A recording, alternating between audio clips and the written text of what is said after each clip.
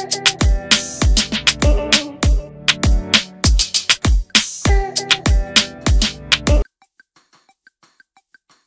อนแจงใส่ซองงานแต่ง หมากคิมหนึ่งล้านลั่นโดนแบล็กเมย์เล่าจุดกำเนิดความรักไม่กล้าแฉแล้วแอน แจงใส่ซองงานแต่ง หมากคิมหนึ่งล้านลั่นโดนแบล็กเมย์ตอนนี้ไม่กล้าแฉแล้วเล่าจุดกำเนิดความรักของทั้งคู่ ได้กลิ่นความรักตั้งแต่วันปิดกล้อง แต่ไม่กล้าปรักปรำกลายเป็นที่ฮือฮาในโลกโซเชียลอย่างมาก ที่ก่อนหน้านี้มีคลิป แอนทองประสม ลั่นจะใส่ซองให้งานแต่ง หมากคิมหนึ่งล้านบาท และยังบอกอีกว่าให้ประกาศบนเวทีด้วย ล่าสุดวันที่ 14 พฤศจิกายน 66 แอนทองประสม ผู้จัดละคร นักแสดงชื่อดังเดินทางมาร่วมงาน Grand Opening Polo Ralph Lauren New Flagship Store จากนั้นได้เปิดใจกับสื่อมวลชนถึงประเด็นใส่ซองงานแต่งหนึ่งล้านบาทจริงหรือไม่ใส่ซองหนึ่งล้านบาทจริงไหม คิมแกล้งพี่ ยิ้ม ตอนนั้นออกกำลังกายกันเสร็จแล้วนางก็บ่นว่าช่วงนี้ต้องลดความอ้วนใส่ชุดเจ้าสาวจะได้ พอดีพอดีแอนก็เลยบอกว่าไม่ต้องไปเครียดกินกินไปเถอะเดี๋ยวใส่ซองให้ล้านหนึ่งเพื่อแกล้งให้กำลังใจนางนางก็บอกว่าพูดใหม่เดี๋ยวนี้แล้วก็หยิบกล้องให้แอนพูดใหม่แล้วก็เอาพี่ไปแฉลงไอจีใครจะให้นางก็คิดว่าพี่ซุปเปอร์ริชมาก เป็นการให้ค่าตัวคิมล่วงหน้าหรือเปล่า เนื้อจ่ายไปก่อนแล้วให้ทำงานใช้คืนอย่างน้อยก็ได้หน้าว่าใส่ไปล้านหนึ่ง ยิ้ม ไม่ได้เราไม่ใช่ผู้ใหญ่ที่สุดในงานต้องให้ผู้ใหญ่กว่านั้น เขาให้เราเป็นเด็กน้อยก็ให้แปดพันหนึ่งหมื่นก็พอแล้ว หัวเราะพี่พูดเล่นเดี๋ยวก็ไปเขียนว่าพี่ให้หมื่นหนึ่งแปดพันอีก ให้สมน้ำสมเนื้อ ให้เป็นของขวัญเท่าที่แรงพี่จะ support ไหว เพราะพี่ก็เป็นคนฐานะธรรมดาท่านหนึ่ง ก็ให้ตามฐานะธรรมดาของเราพี่ไม่คิดว่าจะมีการพูดถึงขนาดนั้น ลง story และนางก็เลอะเทอะมากวันนั้น หน้าพี่ก็เยินมาก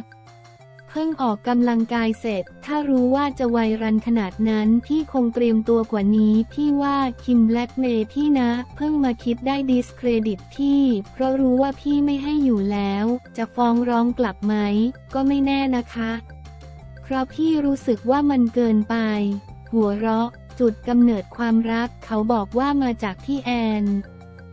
เขาพูดเหรอ เชื่อไหมว่าพี่ไม่ได้ยินอะไรบนเวที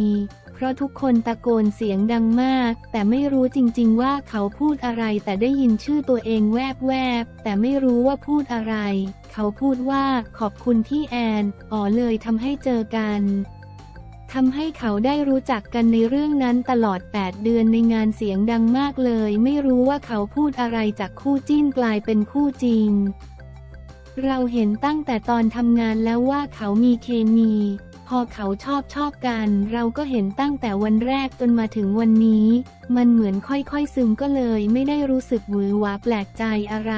ก็รู้สึกว่าเขาก็เป็นกันอย่างนี้แหละคู่นี้ เราชินแล้ว แต่สิ่งที่เราเห็นอย่างสม่ำเสมอคือความเรียวของเขาสองคนเวลาเขาหึงกัน เขาก็หึงเวลารักกันเขาก็รักเขาจริงใจกับความรู้สึกตัวเองมาก บนเวทีเขาปล่อยความเรียวของเขาอย่างแท้จริง ไม่มีการปรุงแต่งมันเลยน่ามอง สดชื่นไปหมดกับคู่นี้ แอนไม่ได้เป็นที่ปรึกษาให้ค่ะ เขาแค่เถียงกันต่อหน้าให้ได้ยิน เราก็ทำตัวเป็นมดเป็นปลวกไม่ได้สนใจ เดี๋ยวก็หายเอง แต่ส่วนใหญ่เขาจะรักกันเขาจะไม่ค่อยตีกันเท่าไหร่ เป็นกามเทพ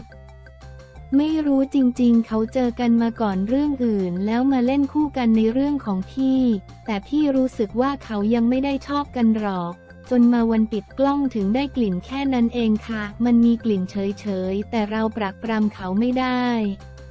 เราแค่รู้สึกไปเองคนเดียว คิมดิสเครดิตที่แอนมีอะไรจะแฉคืนเขาไหม ตอนนี้พี่ไม่กล้าเลย พี่กลัวไปหมดเลยไม่กล้าแฉ ถ้าคราวเราแต่งเองจะเรียกเกินกว่าล้านไหม คิมนะคิมรวยมากนะคะ ก็คงต้องแบบพอสมควรแหละ ถ้าพี่แอนแต่งต้องสองล้าน ใช่เอาไว้ให้พี่ตอนเกษียณแหละ หัวเราะ พวกนักแสดงต้องให้คืนพี่ค่ะ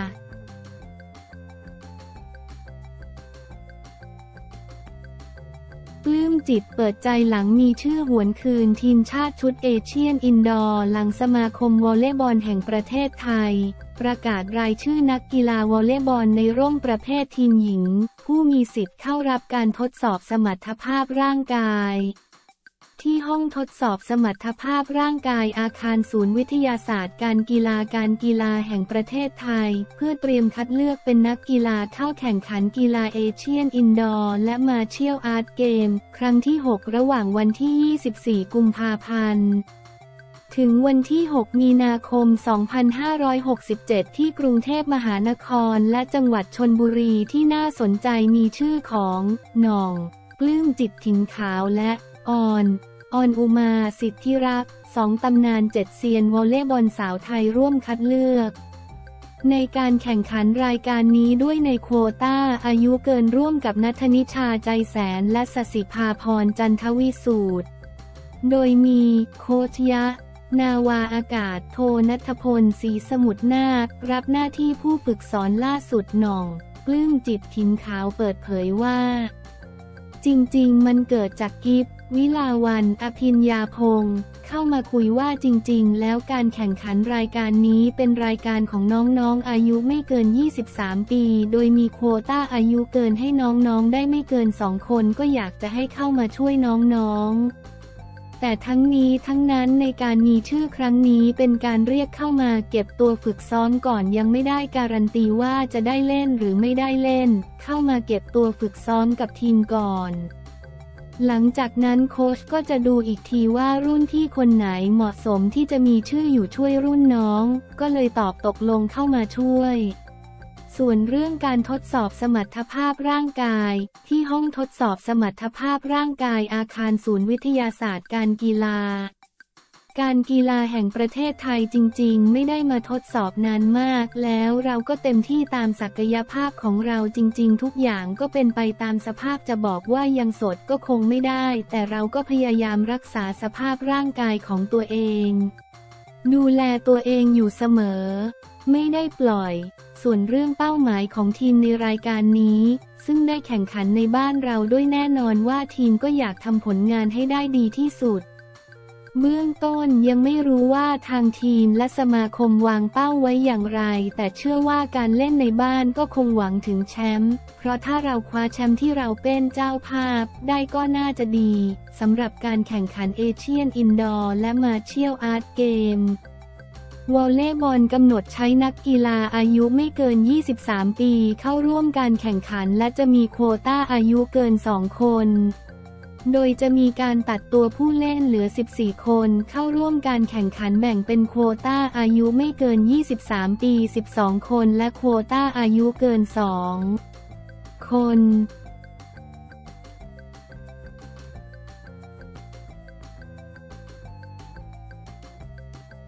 เปิดใจอดีตนักตะกร้อหญิงเหรียญทองทีมชาติ ผ่านมา 13 ปียังไม่ได้เงินอัดฉีด เปิดใจอดีตนักตะกร้อหญิงเหรียญทองทีมชาติ ผ่านมา 13 ปียังไม่ได้เงินอัดฉีดวอนสงสารนักกีฬาด้วยเงินเริ่มไม่พอใช้จ่ายขอบคุณ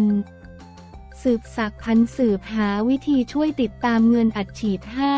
วันที่ 13 พฤศจิกายน 66 นางสาวพิกุล สีดำ อายุ 30 ปี ชาวบ้านใหม่ สีสุข อำเภอเขาสวนกวาง จังหวัดขอนแก่นนำภาพที่ได้รับเหรียญทองตะกร้อทีมเดี่ยวหญิง ทีมชาติไทย